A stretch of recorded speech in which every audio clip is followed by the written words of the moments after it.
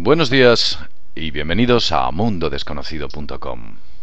Hay muchos temas de que hablar, muchas cuestiones, pero hoy vamos a dedicar un programa, un videoprograma al HARP.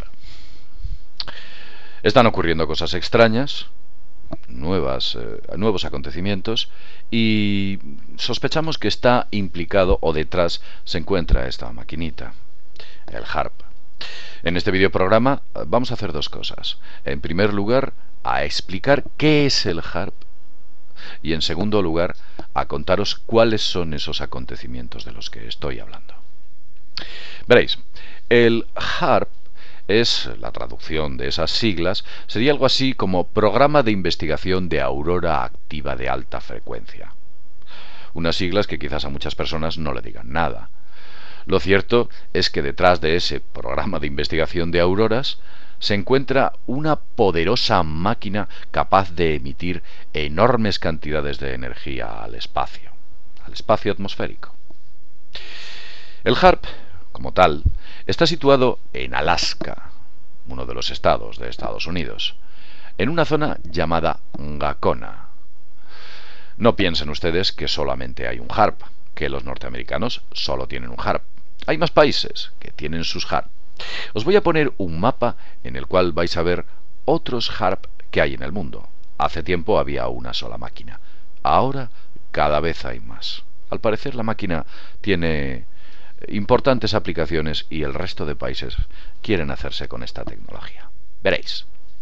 Si observáis este mapa que os pongo aquí, veréis que no solo hay en Gacona, también se sospecha que en Área 51 y en Long Island hay más en el Reino Unido, en Noruega, en Tromsø concretamente, en Rusia, el proyecto Sura, también en China, incluso en Australia, Brasil, en Perú, también se está investigando con un programa parecido. En realidad, muchos países de este mundo han descubierto las maravillas de este sistema y están investigando con ello. Pero ¿qué es el HARP? Vamos a centrarnos en el que más conocemos debido a su antigüedad. Bueno, pues el HARP es, eh, para haceros un dibujo que lo podáis entender, algo así como 180 antenas capaz, capaces de emitir hasta mil millones de vatios a la atmósfera. Algunas fuentes apuntan que es capaz de emitir 3,7 gigavatios de potencia. 3.700 millones de vatios. Veréis, el HARP es algo parecido a esto. Imaginaos una extensión de terreno, una extensión de terreno llena de antenas. Antenas. Antenas con forma, con forma de T, para que os hagáis una pequeña idea. Esta enorme extensión de terreno, que pueden ser varias hectáreas, eh, dispuesta con antenas, está alimentada por una central térmica. ¿Mm? ¿De acuerdo? Hay una central térmica que se dedica a alimentar esta, esta área. Entonces el HARP lo que hace es que estas antenas son cargadas y esa energía es lanzada al espacio. No al espacio exterior, al espacio atmosférico. Y es lanzada con una terrible fuerza. Esta central que tiene situada aquí es una central de gas natural y bueno, pues está única y exclusivamente dedicada para alimentar la potencia de esta máquina. El HARP utiliza una extraña tecnología. Dicen, o algunos piensan, que esta tecnología nace de ciertas patentes arrebatadas a Nicolás Tesla, pero de esto hablaremos luego. En estos momentos eh, está denominado, o se denomina, Proyecto Militar No Bélico. Así es como ellos lo denominan. Y utiliza o lanza esa enorme cantidad de energía, recordar como mínimo mil millones de vatios, lo lanza a una capa de la atmósfera que se denomina ionosfera. Eh, la Tierra tiene varias capas, por ejemplo la estratosfera, la, la, la capa de ozono, la capa ionosférica, la exosfera, tiene una serie de capas, la troposfera, en fin, y cada una está situada a unas distancias concretas. Si, por ejemplo, vemos aquí la Tierra, bueno, pues podríamos eh, claramente ver cómo esa Tierra, debido a las diversas densidades y su composición atmosférica, tiene varias capas que la rodean, unas de un tipo, otras de otro, ¿de acuerdo? Pero hay una capa en concreto en la que se produce un extraño efecto. Y esa capa la vamos a denominar, o se denomina, de hecho, la ionosfera. Es una capa que comienza a los 48 kilómetros de altura aproximadamente y se extiende bastante más allá. Teóricamente, eh, el procedimiento de funcionamiento del HARP es por rebote ionosférico. Como ya he dicho, esto sería la Tierra y estas serían sus diversas capas. Hay muchas más, podríamos llegar hasta los llamados cinturones de Van Halen, pero no vamos a entrar ahí. No estamos en una clase de geofísica. Vamos a explicar qué es lo que hace el HARP. Veréis, si esta es la curvatura de la Tierra, imaginaos, esta es la curvatura de la Tierra, por cierto, muy mal hecha, pésimamente hecha. Vamos a hacerlo bien. Si esta es eh, la curvatura de la Tierra de una manera más correcta, podríamos ver como si yo sitúo una antena en esta, en esta posición, una antena, y quisiera comunicarme con otra antena que está en esta otra posición, bueno, pues las ondas de radio van en línea recta y no podría comunicarme de manera directa. No puedo. Como veis, bueno, pues la Tierra interfiere el paso de esas comunicaciones. No podría.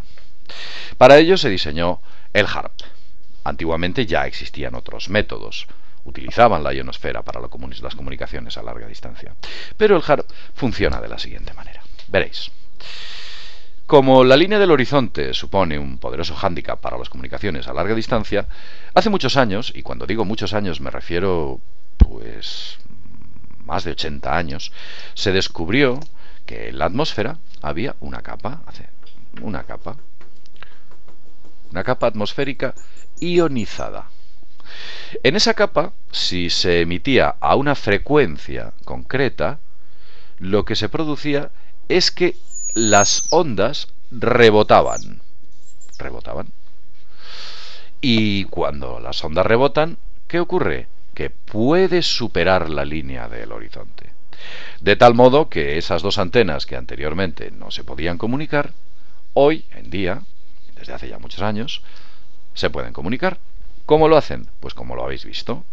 En el, el emisor A envía una señal a esa capa atmosférica, rebota y llega al punto B a través de este, bueno, pues sencillo sistema. Existen otras formas de comunicación, algunas incluso hasta exóticas, como puede ser el llamado rebote lunar. Utilizan la luna como un espejo, lanzan una onda, esa onda rebota y es capaz, eh, con ella, con ese sistema, es capaz o se puede comunicar a larga distancia. Pero el problema de la luna es que no es estable y la luna solamente podría eh, permitir esas comunicaciones en momentos puntuales. Digamos que esto es básicamente lo que hace el HARP. Estas serían unas antenas que lanzan una poderosa onda de energía que rebota en la ionosfera y llega al punto donde queremos llegar. La cuestión en realidad es mucho más sofisticada que lo que os acabo de enseñar aquí. El tema está en que este rebote ionosférico, y es curioso, se puede hacer por múltiples etapas. Y cuando digo múltiples etapas me refiero a que puede subir, rebotar en la Tierra, volver a subir para finalmente llegar al punto B. Con lo cual, y con esta serie de rebotes que puede hacer, esta serie de rebotes que puede generar Tierra, ionosfera, ionosfera, Tierra, sería capaz de circuncidar la Tierra, dar la vuelta a la Tierra. Bien, vamos a proseguir con el HARP. Nos vamos a apartar un poco de esa teoría de cómo funciona el HARP y nos vamos a centrar en él. En teoría, ¿Para qué se está utilizando el HARP? En teoría el HARP se está utilizando para la prospección del subsuelo, que hay debajo del suelo. ¿Cómo lo hacen? Bueno, pues utilizando unas frecuencias concretas que al rebotar eh, por debajo del suelo devuelven otra frecuencia. Y esa frecuencia que devuelven al ser modificada o alterada indica concretamente qué es lo que hay ahí debajo. Os pondré un ejemplo gráfico. Veréis, es bastante sencillo. Imaginad por un momento, ya he dicho antes, que este, bueno, pues esta es la Tierra. ¿De acuerdo? Yo mando una serie de ondas electromagnéticas de una frecuencia muy concreta, y no vamos a entrar en detalles, y aquí, por ejemplo, hay un silo nuclear. Un silo nuclear. ¿De acuerdo? Pues lo que hacen estas frecuencias es que penetran en, la, en el subsuelo, penetran en el subsuelo y devuelven otra señal distinta que identificaría la posibilidad de que en esta zona existiese algún tipo de búnker o de silo de misiles. Pero vamos a continuar con este con las ideas del HARP, las oficiales, para explicaros, eh, para continuar con este tema que tampoco quiero que se alargue demasiado. Bien, se utiliza para las comunicaciones a larga distancia, con submarinos, por ejemplo, y para la prospección del subsuelo, lo que hay debajo del suelo. Podrían encontrar minerales, podrían encontrar, eh, pues no sé, eh, zonas con agua en el subsuelo, o incluso me atrevería a decir que serían capaces de encontrar zonas donde existen recursos petrolíferos. Hasta aquí lo que oficialmente hace. Pero ¿qué es lo que podría hacer el HARP? Bien, cuando estás mandando un gigavatio de potencia a la atmósfera, lo que haces es calentarla. La calientas mucho. Y ese calentamiento puede producir una modificación del clima. ¿Sí? Podría hacer que en una zona concreta las nubes desapareciesen durante meses, o quizás años, y en aquella zona provocar una enorme sequía. O lo contrario, o podría producir enormes huracanes. Podría modificar el clima a unos niveles eh, sencillamente alucinantes, lo que se denomina geoingeniería. También puede hacer otra cosa.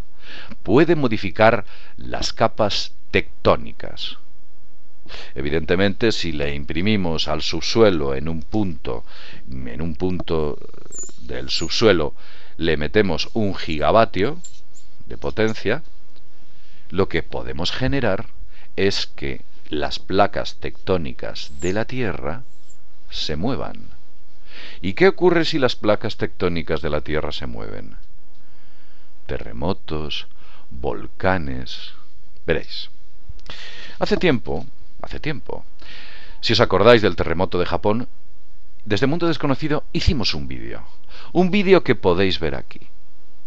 En aquel vídeo explicábamos cómo misteriosamente una fuerte potencia del HARP se había producido en el momento preciso del terremoto de Japón. Lo podéis ver en ese sitio que os he indicado. ¿Casualidad? No lo sé. Lo cierto es que ahí está. Pero ¿qué más cosas puede hacer? ¿Qué más cosas podría hacer el HARP? Y aquí es donde viene lo siniestro. Veréis. Esas ondas de las que hemos estado hablando, esas ondas que pueden llegar a una zona concreta, imaginaos en una zona en la que viven un montón de ciudadanos, una ciudad importante, o un pueblo, o una zona estratégicamente necesaria para ser tomada o para ser conquistada. Y aquí hay una serie de individuos molestos a los que hay que expulsar de esa zona, o una serie de individuos que nos interesan que estén en un estado concreto. Si yo lanzo a esos individuos una frecuencia concreta, los lanzo una frecuencia concreta, quizás lo que les esté haciendo sea modificar su conducta, su comportamiento.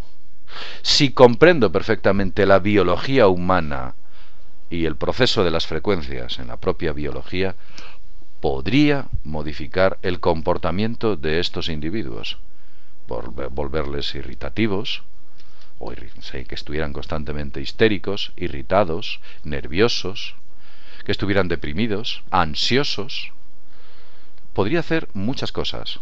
No sé si podía incluso inducirles a la muerte.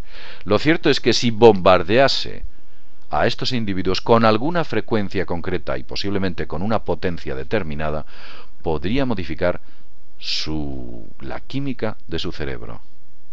Esto es posible, la modificación de la química cerebral debido a las frecuencias electromagnéticas. Y el HARP emite frecuencias electromagnéticas y puede lanzarlas a cualquier parte del planeta. puede modificar nuestro comportamiento humano. Pero eso es algo muy poco demostrable.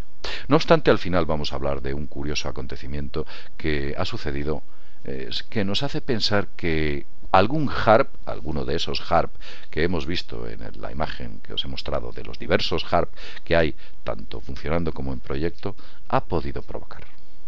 Pero vamos a continuar. Veréis. El HARP nació en los años 70. Nació de un proyecto que se llamaba el ROZAR. El ROZAR quiere decir radar relocalizable, relocalizable, sobre el horizonte. Y se utilizaba, como ya he dicho antes, para superar esa línea del horizonte que los buques de guerra pues no podían ver. No podían ver.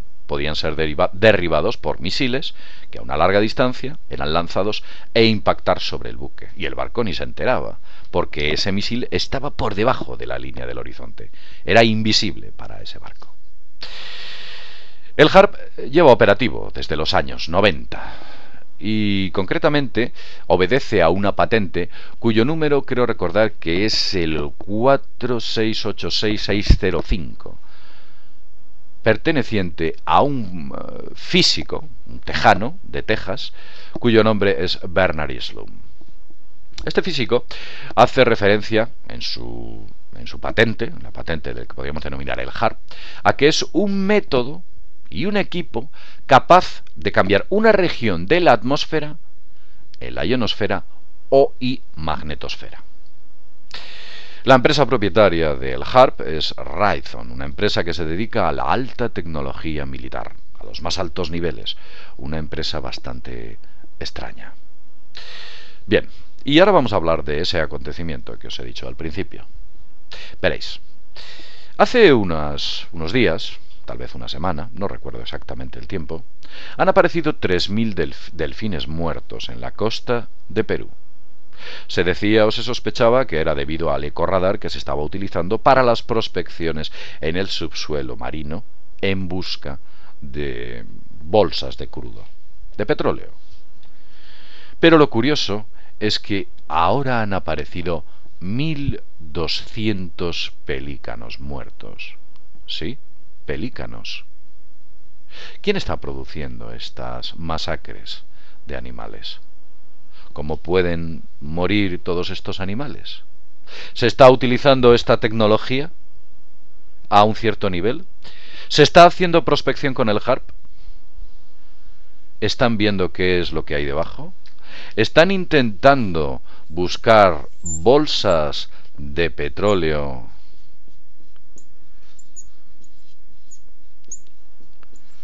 y mientras tanto esas frecuencias al impactar con la biodiversidad de la zona las está sencillamente matando ¿Es posible que esto esté sucediendo? ¿Todo corresponde al ecorradar de las prospecciones? ¿Causa-efecto? ¿Cuántos animales tienen que morir más en la zona? O tal vez tienen que empezar a desaparecer personas, morir personas. Algo está ocurriendo.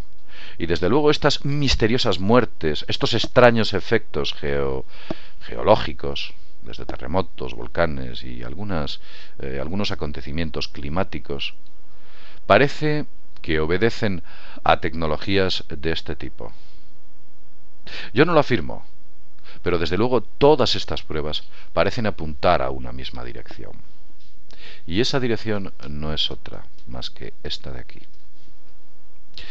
Bien, eh, sin más, eh, desde Mundo Desconocido, que ya llevamos un buen rato hablando, nos vemos en el próximo videoprograma.